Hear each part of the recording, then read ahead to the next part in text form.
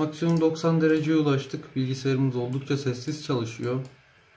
VScience açtığımız zaman daha düşük sıcaklıklara erişebiliyoruz. Termal macun değişim bu kadar. Kendinize iyi bakmayı unutmayın.